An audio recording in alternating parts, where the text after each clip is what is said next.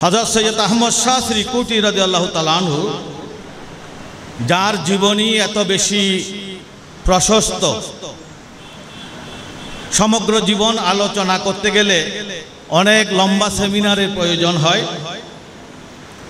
হুজুর কাবলার জীবনের যে বায়োগ্রাফি, শুধু বিভিন্ন ঘটনা, তারিখগুলো বললেও কমপক্ষে এক ঘণ্টা, দেড় ঘণ্টা লাগবে। যেগুলো আমার কাছে নোট আছে। কিন্তু আজকের যে পরিস্থিতি, আপনারা জানেন, এই মাহফিলকে সংক্ষিপ্ত করা প্রয়োজন বলে আমি নিজেও মনে করছি। সে কারণে আমরা বেশি সময় নিতে পারব না। আপনারা যারা সময় মতো এসেছেন, আপনাদেরকে মোবারকবাদ জানাচ্ছি। আমরা ওরস্বরী পালন করি খ্রিস্টাব্দ হিসেবে নয়। আমাদের আঞ্জুমানে যে সমস্ত ওরস্বরী পালন করা হয়, সবগুলো হয় হিজরি সন অনুসারে। তো হুজুর সাইসাই শ্রীকুটের ওফাত হয়েছে তেরোশো একাশি হিজড়িতে এখন চোদ্দশো বিয়াল্লিশ হিজড়ি সেই হিসেবে একষট্টিতম সালানা ওরস মোবারক। তার সাথে সাথে আমি আপনাদেরকে সুসংবাদ দিতে চাই। তেরোশো বিয়াল্লিশ হিজড়িতে ওফাত বরণ করেছিলেন খাজায় খাজগান, খাজা আব্দুর রহমান চৌরবী রদিয়াল্লাহ তালানহু এইবার চোদ্দশো বিয়াল্লিশ হিজড়ি পয়লা জিলহস খাজা চৌরবীর একশতম ওরস উদযাপিত হবে। সুতরাং এই বিষয়টা আমাদের মাথায় রেখে, লকডাউনের বিষয়ে মাথায় রেখে, কিন্তু আমাদের কাজগুলো আমাদেরকে করতে হবে, স্বাস্থ্যবিধিও মানতে হবে। হুজুর শ্রী কোটি রহমতুল্লাহ বয়স হিসাব করলে বারোশো বাহাত্তর হিজড়িতে ওনার জন্ম ধরলে আরও আগেও হতে পারে। বারোশো বাহাত্তর হিজড়ি থেকে তেরোশো একাশি হিজড়ি, আমি একটু করে হিসেব করলাম, একশো নয় বছর হায়াত তিনি পেয়েছেন। এই একশো নয় বছরের মধ্যে একশো বছরেই ধরতে পারেন, তিনি দিনের জন্য কোরবানি করেছেন। কারণ তিনি কোরআনে হাফেজ ছিলেন, আট নয় বছর বয়সে তিনি হাফেজ হয়েছেন, এটাও দিনের জন্য কোরবানি। বারোশো সাতানব্বই হিজড়িতে তিনি সর্বশেষ সনত অর্জন করেছিলেন। মাদ্রাসার সর্বশেষ ডিগ্রি বারোশো সাতানব্বই হিজড়িতে। এরপরেই এটা কনভার্ট করলে আঠারোশো আশি খ্রিস্টাব্দ হয়। এরপরেই তিনি লেখাপড়া যেটা করেছেন সেটাকে কাজে লাগানোর জন্য। যেখানে কলমার দাওয়াত দেওয়ার প্রয়োজন ছিল, এমন একটি জায়গা বেছে নিয়েছেন। আওলাদ রসুলের সমগ্র জীবনটা গেছে কলেমার দাওয়াত দিতে দিতে, দিনের দাওয়াত দিতে দিতে। হুজুরের পূর্বপুরুষদের যদি ইতিহাস দেখা হয়, দেখা যাবে ওনারা পৃথিবীর যেখানে মুসলমান নাই, সেখানে চলে গেছেন। প্রতিকূল অবস্থায় গিয়ে সেখানে কলমার দাওয়াত দিয়েছেন। সাইন্সাই সিরকুট অনুকূল কোনো জায়গা বেছে নিতে পারতেন। কিন্তু লেখাপড়া শেষ করে তিনি দক্ষিণ আফ্রিকায় চলে যান। সেখানে কৃষ্ণাঙ্গদের মধ্যে দিনের দাওয়াত দিয়েছেন। তার আধ্যাত্মিক ক্ষমতার কারণে, জ্ঞানের কারণে, আদর্শের কারণে আল্লাপাক কবুল করেছেন বলে বহু মানুষ, হাজার হাজার কৃষ্ণাঙ্গ, সেই মোম্বাসা, জাঞ্জিবার ক্যাপটাউন এ সমস্ত বন্দর এলাকায় সাইনসাই সিরিকুটার হাতে মুসলমান হয়েছিল। তিনি যখন মনস্থ করলেন দীর্ঘদিন আর আফ্রিকায় থাকার প্রয়োজন নেই। বিশাল একটা মুসলিম নবদীক্ষিত জেনারেশন তৈরি হয়ে গেছে।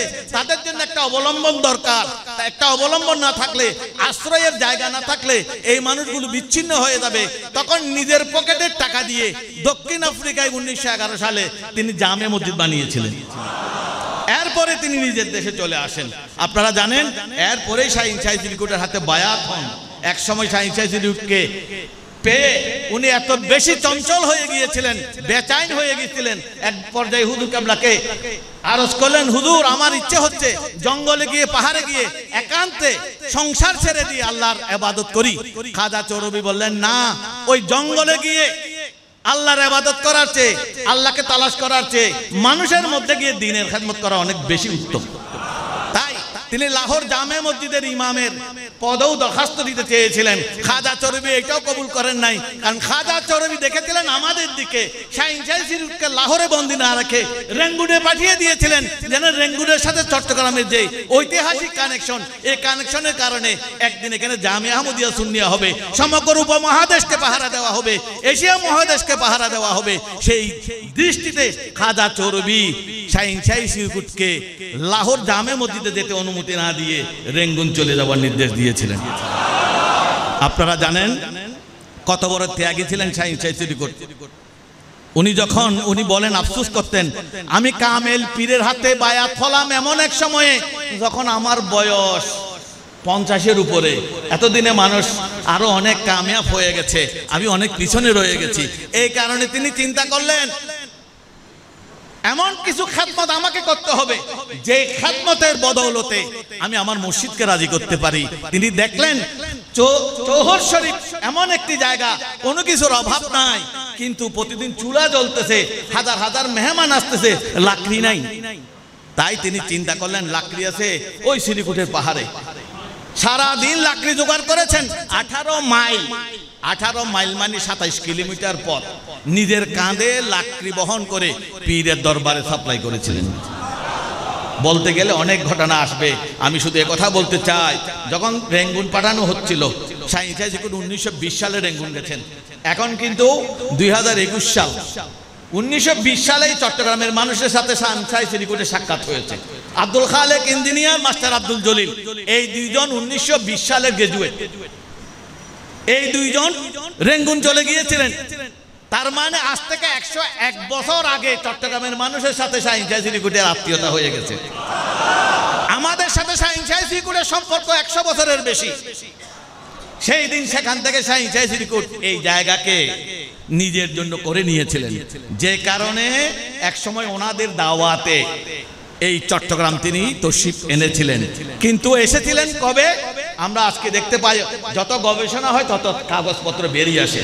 আপনারা জানেন, বিশ্বে এক নম্বর আলা হজরত গবেষক doctor Masud, professor doctor Masud Masud Ahmad, তিনি পৃথিবীতে এক নম্বর আলা হজরত গবেষক। তিনি আবিষ্কার করেছেন এমন কিছু নথিপত্র, যেমন উনিশশো পঁয়ত্রিশ সালের আঞ্জুমানে সুরাই রহমানিয়ার যে প্রতিবেদন, সেটা তফদ্দল হক লিখিত। সেই প্রতিবেদন তিনি আবিষ্কার করেছেন। সেই প্রতিবেদনে দেখা যায় শ্রীকোট খাজা চরবির নির্দেশে যে রেঙ্গুন গেছেন। পীরের নির্দেশ না পাওয়ায় ষোলো বছর রেঙ্গুন থেকে বাড়িতে আসতে পারেন নাই। পীরকে কেমন মানতেন? কারণ তিনি যখন টের পেয়েছেন, আমার পীর তো আর দুনিয়াতে থাকবে না। কারণ সাইন্সাই শ্রীকোট তো কামেল হয়ে কামেলের দরবারে গেছেন। নাকেশ হয়ে কামেলের দরবারে যান নাই। উনি কামেল হয়ে কামেলের দরবারে গেছেন। তারপরে যখন রেঙ্গুন আসছেন, সেই সময়ে যখন ওনাকে খেলা হতে দেওয়া হলো, তখন এক পর্যায়ে তিনি বুঝতে পেরেছেন, পীর সাহেব আর দুনিয়াতে থাকবেন না। তাই পীরের কাছে চিঠি লিখেছিলেন যে, হুজুর, আমি একটু পারমিশন চাই। আপনার সাথে সাক্ষাৎ করতে ইচ্ছে হয়।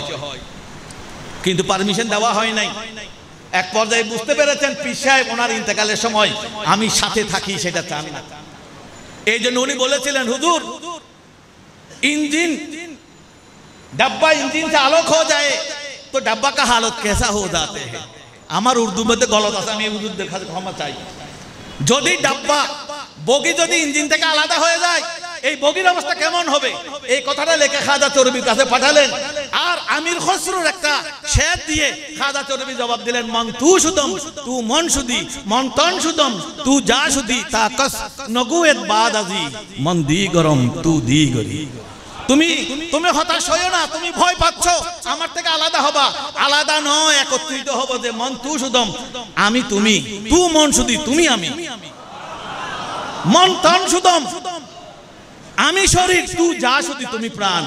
তাকাস নগুয়েত বাদ আজি এরপরে যেন এই কথা আর বলা না হয়, মন দি গরম, তু দি গরি। তুমি আলাদা, আমি আলাদা, এমন কথা যেন আর বলা না হয়। এবং বলে দিলেন, মজমুয়ে সালাত রসুলের জিম্মাদারি, যেটা বারো বছর, আট মাস, বিশ দিন পরিশ্রম করে আমি লিখেছি। মকলুকের কেউ জানে না। তাদের উন্নতির জন্য আমি এটা বানিয়েছি। এটা আমি তোমার কাঁধে দায়িত্ব দিলাম। এটা ছাপা না হওয়া পর্যন্ত তোমার বাড়িতে আসা মানা। এবং সাইন্সাইজির কোট ওয়াদা করেছেন, আমি আপনার ওয়াদা রক্ষা করব। আমার বাবা মারা গেলেও আসব না, পীর মারা গেলেও আসব না, আমার ছেলে মারা গেলেও আসব না। দেখা গেল বাবাও মারা গেছেন, পীরও ইন্তেকাল করছেন। এমনকি নিজের বড় শাহজাদা। তৈয়ব শাহুদুর একমাত্র শাহজাদা না। আমি বহুদিন মনে করতাম তৈয়ব শাহুদুর একমাত্র শাহজাদা। কিন্তু দরবারে গিয়ে আমার ভুল ভাঙলো। তৈয়ব শাহুদুরের বড় একজন শাহজাদা ছিলেন মৌলানা সৈয়দ মোহাম্মদ সালে সেই সৈয়দ মোহাম্মদ সালে উনিশশো আঠাশ সালে ইন্তেকাল করলেন। কিন্তু চিঠি দেওয়া হচ্ছে বারবার। আপনার ছেলেকে হয়তো এসে দেখবেন না। আর উত্তর দিয়ে ফেলেছেন না দেখলেও করার কিছু নাই আমি আমার পীরের নির্দেশ পালন করব।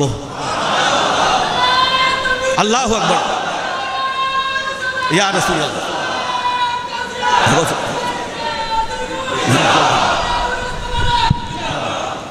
শেষ পর্যন্ত আপনারা জানেন উনিশশো চব্বিশ সালের ছয় জুলাই খাজা চরবির ওফাত হয়েছে, এটা ইংরেজি হিসেবে।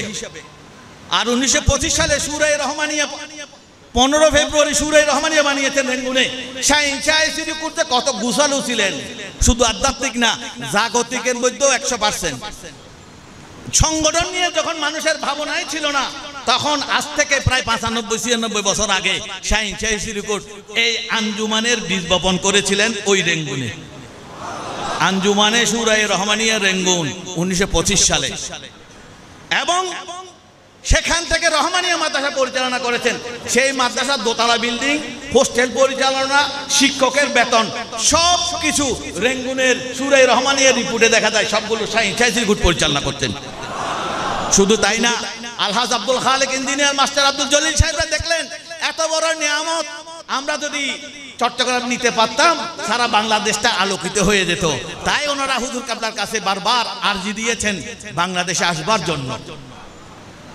কিন্তু শ্রীকুটি রহমতুল্লাহ আলাই, আরও বহু ঘটনা আছে, একটা কথা বলব।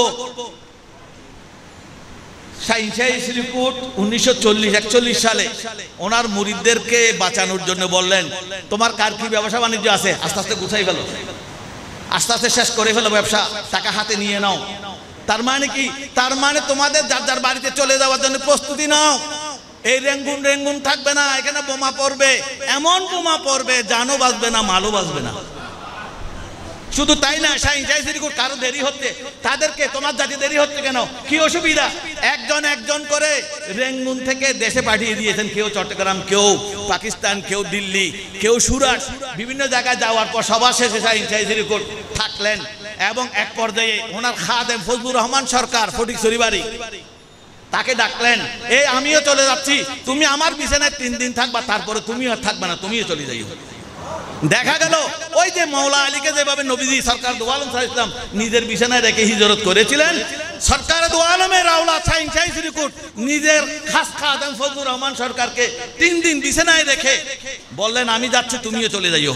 ফজলুর রহমান সরকার চলে যাওয়ার পরে রেঙ্গুনে বোমা হয়েছে। দোকান যেটা যেরকম খোলা ছিল, মাসের পর মাস খোলা, লাশও পড়ে আছে, নেওয়ার জন্য কেউ আসেনি কিন্তু শাহিন শাহিসিরি করে একজন মুড়িদের কোনো ক্ষতি হয় নাই, না জানের ক্ষতি, না মালের ক্ষতি। কারণ মা বাবা যেভাবে সন্তানকে বুকে নিয়ে চলে যায়, নিরাপদ জায়গায়, শাহিন করে সেইভাবে রেঙ্গুনের মুড়িদদেরকে বুকে নিয়ে যার যার ঠিকানায় পৌঁছিয়ে দিয়েছিলেন। রেঙ্গুনের ইসমাইল বাগিয়া সাহেব, যিনি হুজুর তৈব সারমতুল্লাহ খলিফা তাকে যখন আমি প্রশ্ন করেছিলাম, আমরা তো শুনেছি শ্রীকুটি রহমতুল্লাহ এখানে বোম পড়বে কথা আগে বলে দিয়েছেন। এই ব্যাপারে আপনি কি কিছু শুনেছেন? তিনি বলেন, শুনব কেন? আমি তো নিজে তার সাক্ষী। তিনি বলেন, আমার বয়স নয় বছর।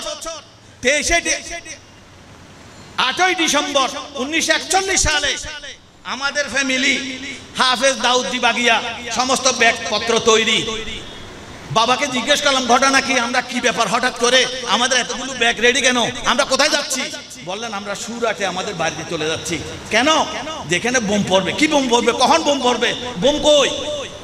বোম কই? দেখা যাচ্ছে না। আমার হুজুর যেটা বলছে সেটাই হবে। সুতরাং আমি আর এক মিনিটে থাকব না। আমরা সুরাটে চলে যাচ্ছি। আটই ডিসেম্বর ওনারা সুরাটে চলে যান। তেইশে ডিসেম্বর ঐতিহাসিকভাবে স্বীকৃত।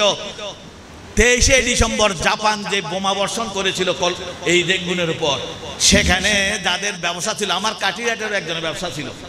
যার সেই সময়ে আজ থেকে হিসাব করে দেখেন কত বছর আগে, পঁয়তাল্লিশ হাজার টাকা ক্ষতিপূরণ দাবি করেছিল ব্রিটিশ সরকারের কাছে, আমাদের কাঠিয়াটের একজন। তার মানে কত বড় মালের ক্ষতি হয়েছে জানের ক্ষতি তো আছেই। আর সাইন্সের কোনো মরিদের এক টাকা খরচ হয় নাই, ক্ষতিও হয় নাই, কারও জানও যায় নাই, আলহামদুলিল্লাহ। আজকে আমরা বড় মেহরবান শাহিন সেঞ্চুরিকুটকে পেয়েছি। শাহিন সেঞ্চুরিকুটের সম্মান, ওনার মূল্যায়ন করবার যোগ্যতা আমাদের নাই। শেরা বাংলা হুজুরের এক লাইনের কথা দরজমানস মান নবীনম মিসল উ পীরে মগা। দেওয়ানে আজিজে কথাটা বলা হয়েছে, যে আমি এত বড় পীরে মগা, সেই জমানায় আর কোথাও দেখতে পাই নাই। সত্যিকার অর্থে সাই সিরিকুর সম্পর্কে তার মূল্যায়ন যথাযথ হয়েছে। একটা ঘটনা দেখলে সেটা বোঝা যায়, যখন উনিশশো পঁয়তাল্লিশ সালে হজে গিয়েছিলেন মদিনায় পাকে যখন গেলেন, দুনিয়ার মানুষ সবাই খাদেমের দিকে। মদিনায় পাকের খাদেমের কাছে সবাই যায়। আর খাদেম চলে আসছে সাইন্সাইজিরিকুটের কাছে, যে আমি এখানকার খাদেম, কিন্তু আপনার হাতে আমি বায়াত হতে আসছি। সিরিকুটুর রহমতুল্লাহ প্রথমত ওনাকে বায়াত করাতে রাজি হন নাই সৈয়দ মঞ্জুর আহমদ। তিনি আওলাদের রসুল। তিনি আওলাদের রসুল। ওনাকে বায়াত করাতে রাজি হন নাই। যে এই পৃথিবীতে আপনার চেয়ে বড় ভাগ্যবান আর কেউ নাই। যে রসুল পাকের রজা মুবারকের খা দেন আপনি কেন আমার হাতে বায়াত হবেন? তখন তিনি নিজেই বললেন হজরত আমি নিজের গরজে আসি নাই। আমি আপনাকে চিনি নাই। আমি যার খাজমত করতেছি রহমতুল্লাহ আলমিন আমাকে নির্দেশ দিয়েছেন আপনার হাতে বায়াত হবার জন্য।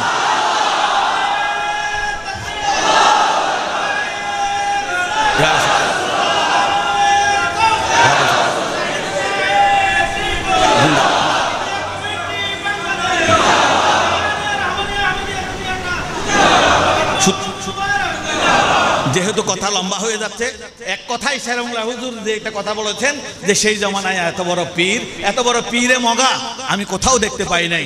সত্যিকার অর্থে আমরা সেরকম একজন পীরে মগার দরবারের ভক্ত যারা আজকে সারা পৃথিবীতে প্রমাণ করেছে, সবার আশ্রয়ের জায়গা গৌসিয়া কমিটি বাংলাদেশ।